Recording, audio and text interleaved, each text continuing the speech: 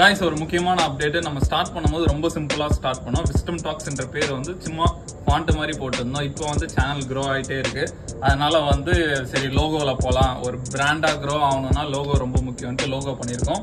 இதுதான் நம்ம லோகோ இனிமேட்டு எல்லாத்துலேயும் இந்த லோகோ தான் இருக்கும். தொடர்ந்து நம்மளை ஃபாலோ பண்ணுங்க. நிறைய இன்ட்ரெஸ்டிங்கான அப்டேட்ஸ்லாம் வெயிட் பண்ணிட்டு இருக்கு.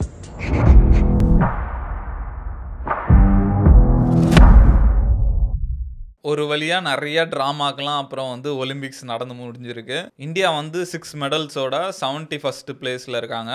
அதுக்கப்புறம் இன்ட்ரெஸ்டிங்கான ஒரு விஷயம்னா பாகிஸ்தான் வந்து ஒரே ஒரு மெடல் கோல்டு வின் பண்ணி சிக்ஸ்டி செகண்ட் பிளேஸில் இருக்காங்க. அப்போ இதை வச்சு பார்க்கும்போது தெரியுது கோல்டு தான் இங்கே மேட்ரு அப்படின்ற மாதிரி. வினேஷ் போகத் வந்து எப்படியா டிஸ்குவாலிஃபை பண்ணாமல் இருந்திருந்தாங்கன்னா அவங்க ஒரு கோல்டு வாங்கி கொடுத்துருப்பாங்க. இப்போ ஒரு வழியாக ஒலிம்பிக்ஸ் முடிஞ்சிச்சு. நெக்ஸ்ட் வாட்டியாவது நம்ம அதிக கோல்டு வாங்க பார்க்கணும். இப்போ இந்தியா வந்து ஒலிம்பிக்ஸில் எவ்வளோ செலவு பண்ணாங்க அப்படின்ற மாதிரி ஒரு டேட்டா வந்திருக்கு. அதை பற்றி பார்ப்போம்.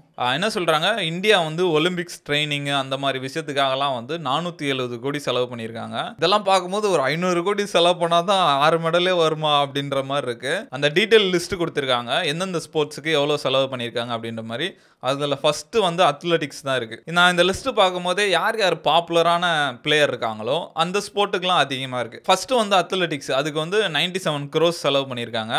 அத்லெட்டிக்கை பொறுத்த வரைக்கும் ரெண்டு கேம் தான் ரொம்ப பாப்புலர் ஒன்று ஜாவ்லின் தரும் நீரஜ் சோப்ரா இருக்காரு. இன்னொன்று ஒன்று மேரத்தான் நிறைய குவாலிஃபை ஆகிட்டு வராங்க இந்தியாவை சேர்ந்தவங்க. அதனால் இந்த ரெண்டு ஸ்போர்ட்ஸுக்காக இவ்வளோ செலவா அப்படின்ற மாதிரி இருக்குது மற்றபடி நம்ம இந்த ஹண்ட்ரட் மீட்டர்ஸு அதெல்லாம் தொட்டு கூட பார்க்க முடியாது. இருபது வருஷம் கழிச்சு இப்போ தான் யூஎஸ்ஏ சேர்ந்த ஒருத்தர் வின் பண்ணியிருக்காரு ஹண்ட்ரட் மீட்டர்ஸு இன்னும் இந்தியாலாம் hundred metres two hundred metres அதிலலாம் செலக்ட் ஆக இன்னும் ரொம்ப நாள் எடுக்கும் அப்படின்ற மாதிரி நினைக்கிறேன். ஆனால் இந்த வாட்டி பார்த்தா ரிலே ஓடி இருந்தாங்க. ஃபோர் இன்டூ ஹண்ட்ரட் ரிலே ஓடி இருந்தாங்க. பட் நம்ம எக்ஸ்பெக்ட் பண்ண மாதிரி வரல. அவங்க எயித்து பிளேஸ் தான் எடுத்திருந்தாங்க. அதனால தான் போல இருக்கு. அவங்கள பற்றி யாரும் பெருசாக பேசக்கூட இல்லை. செகண்ட் என்ன சொல்கிறாங்கன்னா பேட்மிண்டன் செவன்ட்டி டூ க்ரோஸ் அதில் வந்து நம்மளுக்கு தெரிஞ்சு பிவி சிந்து இன்னும் ரெண்டு மூணு பிளேயர்ஸ்லாம் இருக்காங்க.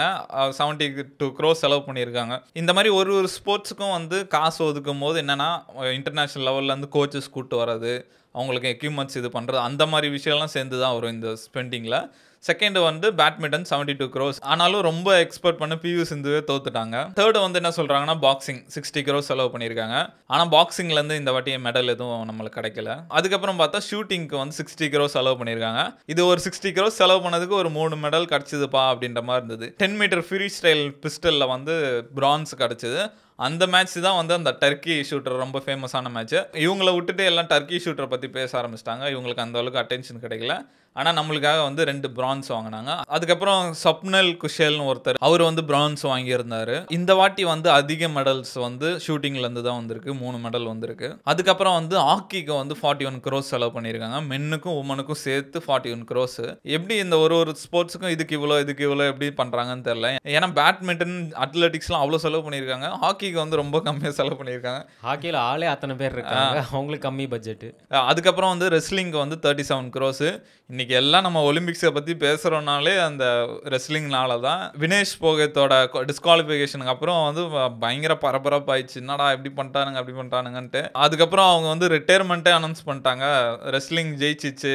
எனக்கும் ரெஸ்லிங்க்கும் நடந்த போட்டியில் ரெஸ்லிங் ஜெயிச்சிச்சு. இதுக்கு மேலே எனக்கு சக்தி இல்லை. அப்படின்னு அவங்க ரிட்டையர் ஆகிட்டாங்க அதெல்லாம் ரொம்ப சோகமான விஷயம்னே சொல்லலாம். என்னடா ஒரு ஸ்போர்ட்ஸ் விளாட்றது ஒரு குத்தமாடா அப்படின்ற மாதிரி பண்ணுறாங்க இதெல்லாம் பார்க்கும்போது. நிறைய மீம்லாம் பார்த்தேன். இந்தியா வந்து அவங்களுக்கு என்ன பண்ணுச்சு? அவங்க இந்தியாவுக்கு என்ன பண்ணாங்க? அப்படின்ற மாதிரிலாம் பயங்கரமாக போட்டிருந்தாங்க. இந்த ரெஸ்லிங்க்கு வந்து இந்தியா வந்து தேர்ட்டி செவன் க்ரோஸ் செலவு பண்ணியிருந்தாங்க. அதுக்கப்புறம் ஆச்சரிக்கு வந்து தேர்ட்டி நைன் க்ரோஸ் செலவு பண்ணியிருக்காங்க. ஆச்சரியில் யாரா ஆடுறீங்க? அப்படின்ற மாதிரி இருக்குது நான் இதை பார்க்கும்போது எனக்கு எப்படி தோணுதுன்னா இந்த பணக்கார ஸ்போர்ட்ஸு அவங்க மட்டும் தான் மெடலே அடிக்கிறானுங்க. இந்த ஷூட்டிங்கு இந்த ஆர்ச்சரி இதெல்லாம் வந்து நார்மல் மிடில் கிளாஸ் ஆளுங்களே இந்த ஸ்போர்ட்ஸுக்கெலாம் போக மாட்டாங்க மோஸ்ட்லி டென்னிஸு இந்த டேபிள் டென்னிஸ் அதெல்லாம் பொதுவாக நம்ம மிடில் கிளாஸ் ஆளுங்கெல்லாம் மோஸ்ட்லி போகவே மாட்டாங்க. ஆனால் அந்த மாதிரி கேமுக்கு தான் கான்சென்ட்ரேட் பண்ணி அதுதான் ஜெயிக்கிற மாதிரி கொண்டு வராங்க. மேபி பின்னாடி ஏதோ அரசியல் இருக்குமோ அப்படின்லாம் தோணுது. அதுக்கப்புறம் வெயிட் லிஃப்டிங்க்கு வந்து டுவெண்ட்டி செவன் க்ரோஸ் செலவு பண்ணியிருக்காங்க. அதுக்கப்புறம் டேபிள் டென்னிஸ்க்கு வந்து பதிமூணு கோடி செலவு பண்ணியிருக்காங்க. டேபிள் டென்னிஸ்லாம் அழகாக சைனா வந்து அசால்ட்டாக அசிட்டு போவானுங்க. ஏன்னா அந்த பிங் பாங்கன்றதெல்லாம் அவங்களுக்கு வந்து ரொம்ப முக்கியமான ஸ்போர்ட்ஸ் அதுக்கப்புறம் ஸ்விம்மிங்கு ஸ்வைலிங்கு ரோவிங் அதுக்கெல்லாம் சேர்த்து ஒரு இருபத்தி மூணு கோடி செலவு பண்ணியிருக்காங்க.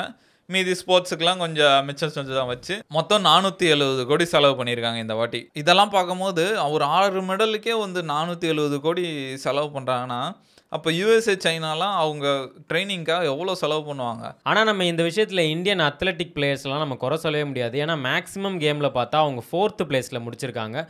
கொஞ்சம் முன்னாடி முடிச்சிருந்தா அந்த மெடல் டேலியில் வந்திருப்பாங்க. பட் ஃபோர்த்துனால அவங்கள பற்றி நம்ம யாரும் பேசவும் மாட்டோம். நம்மளோட அந்த கொடியும் வந்து மேலே டிஸ்ப்ளே ஆகாது. அதனால் வந்து நம்ம இந்த மாதிரி வந்து இந்தியா இந்த வாட்டி விட்டுடுச்சுன்னு தான் பேசணும். நம்ம கூட ரீசெண்டாக ஒரு வீடியோ போட்டிருந்தோம். சைனாவில் என்ன பண்ணுறாங்கன்னா அது நல்லா வைரலாக போச்சு. அதே மாதிரி இந்தியன் ஃபுட்பால் லெஜண்ட் சுனில் சேத்ரியும் ரீசெண்டாக கூட ஒரு பேட்டியில் சொல்லியிருந்தார். இந்தியாவில் வந்து இவ்வளோ பாப்புலேஷன் இருந்தாலும் டேலண்ட் ரொம்ப கம்மியாக தான் இருக்குது அவங்க அந்த டேலண்ட்டை ஐடென்டிஃபை பண்ணி சின்ன வயசுலேருந்து ட்ரைனிங் பண்ணி அவங்கள எடுத்துகிட்டு வந்தால் தான் அவங்கள ஒலிம்பிக்ஸில் வந்து ஐஎஸ் லெவலில் பர்ஃபார்ம் பண்ண முடியும் அப்படின்ற மாதிரி சுனில் சேத்ரி ரீசெண்டாக சொல்லியிருந்தாரு. அதுதான் நினைக்கிறேன். ஏன்னா இந்தியாவில் வந்து ஸ்போர்ட்ஸுக்கே அவனை முக்கியத்துவம் கொடுக்க மாட்டான் வீட்லேயா இருந்தாலும் சரி நாட்டிலேயா இருந்தாலும் சரி எங்கேயும் அந்த ஒலிம்பிக்கு இந்த காமன்வெல்த் வரும்போது மட்டும் பேசுவாங்க கொஞ்ச நேரம். இந்தியா என்ன ஜெயிக்கல அப்படின்ற மாதிரி. அதுக்கப்புறம் அவன் வேலையை பார்த்துட்டு போயிடுவான். தான் கிரிக்கெட் இருக்கேப்பா. இதெல்லாம் மாறணும். இன்னும் மாற எவ்வளோ நாள் ஆகும் தெரியல. நம்ம ரேங்கிங்கில் ஒரு டென் எல்லாம் வர இன்னும் எத்தனை வருஷம் ஆகும் தெரில அது வரைக்கும் நம்ம இருப்போமா இல்லைன்னு தெரில நம்ம இருக்கிற காலத்துக்குள்ளே ரேங்கிங் டென்னுக்குள்ளே நிறைய மெடல் அந்த மாதிரிலாம் வாங்குச்சுன்னா ரொம்ப நல்லாவே இருக்கும் பார்க்க.